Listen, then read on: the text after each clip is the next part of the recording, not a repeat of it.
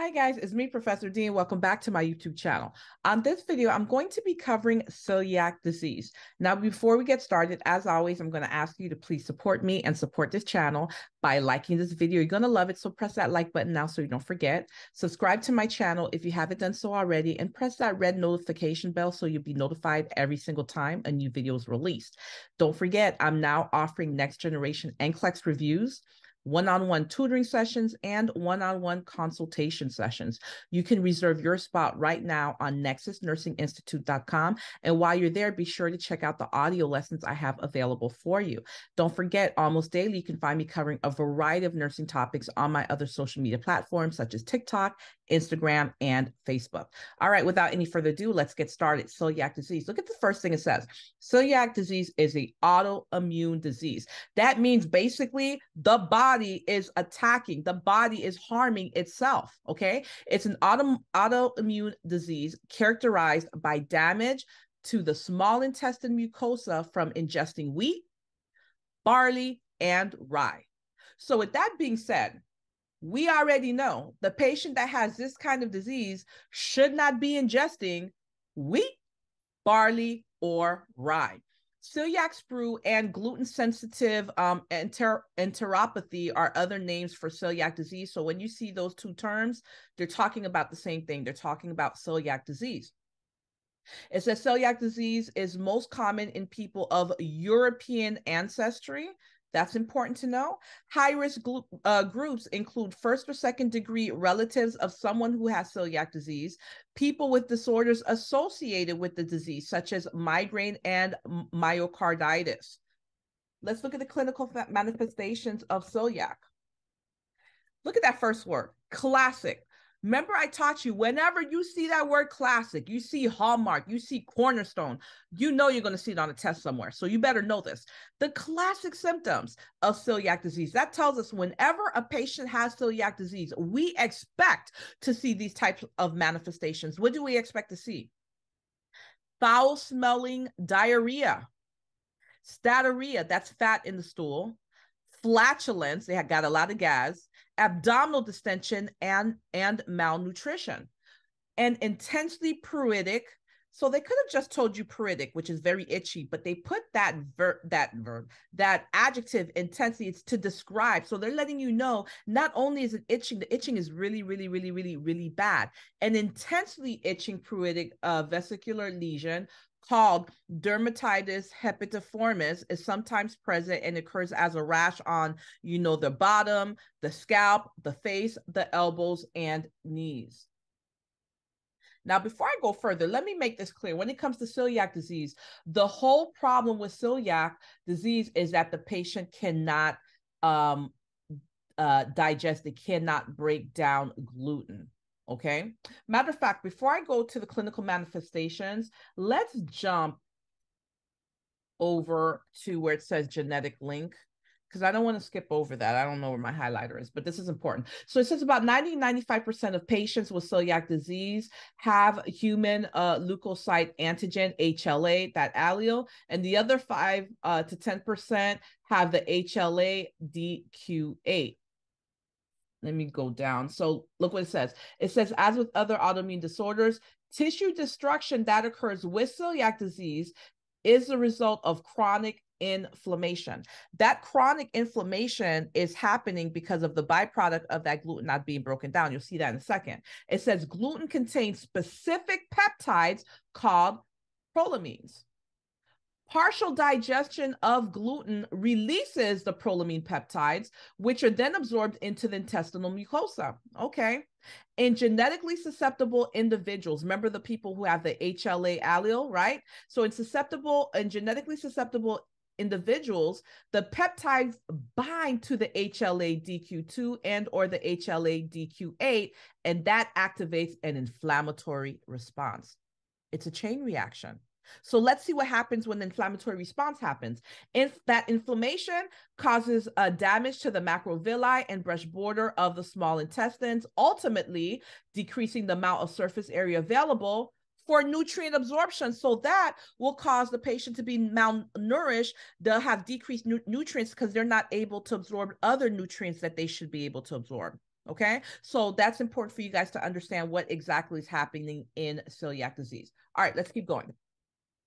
It says protein, fat, carbohydrate absorption is also affected. Patient's going to have weight loss, muscle wasting, and other signs of malnutrition. Iron deficiency is very common, iron deficiency anemia.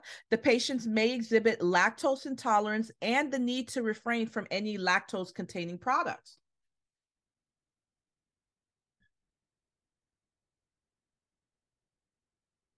Inadequate calcium.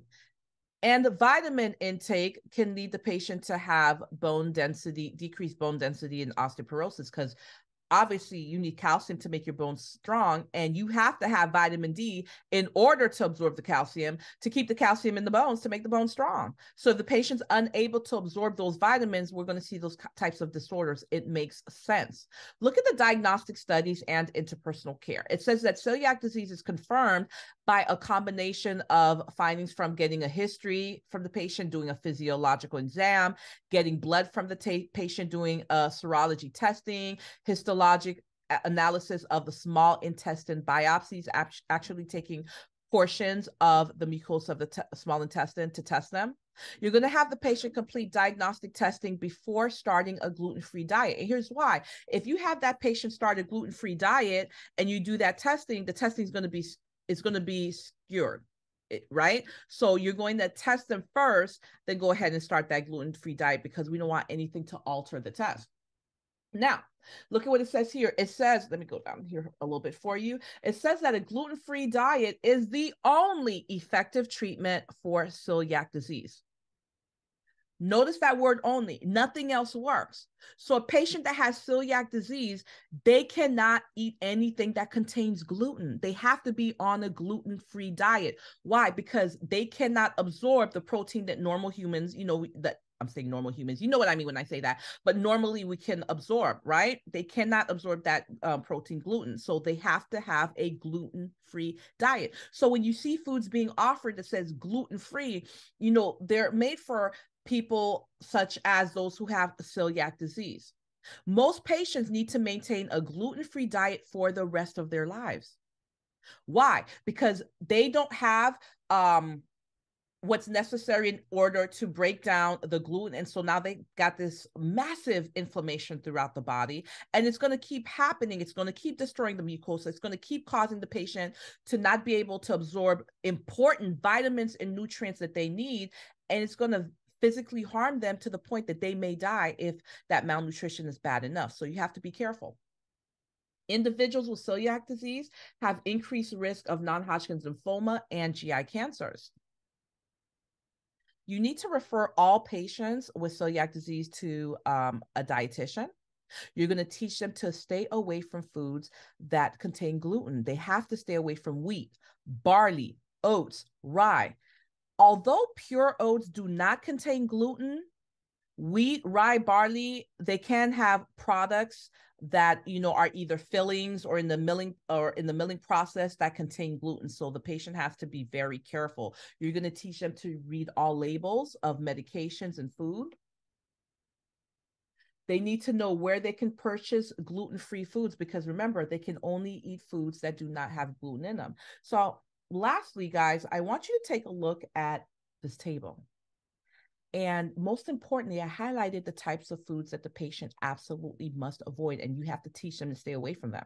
They have to stay away from baked goods, including muffins, cookies, pies. Stay away from barley. Stay away from bread, including wheat bread, white bread, potato bread. They have to stay away from flour, gluten stabilizers, oats, pasta, pizza, bagels, rye, wheat.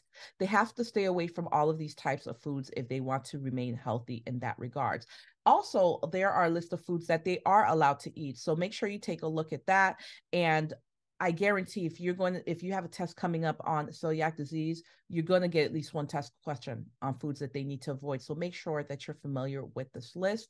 And guys, that is the end of this video. Please let me know what you thought about this video. Let me know what you'd like me to teach you next and in what format you'd like me to teach you the information. Would you like it in a lecture format, such as me teaching out of a book like I did today? Would you like it in an activities, fun format such as the Kahoots, or would you like it in a question and answer format such as the videos that I release every Sunday at 1 p.m. Eastern Standard Time? Thank you so much for watching this video. And before you guys log off, please don't forget I'm now offering next generation NCLEX reviews. I'm offering one-on-one consultations and one-on-one tutoring sessions. You can reserve your spot right now if you go to my website, nexusnursinginstitute.com. And while you're there at the website, don't forget to check out the audio lessons that I have available for you. Thank you so much for watching this video, and you guys will catch me on the next video.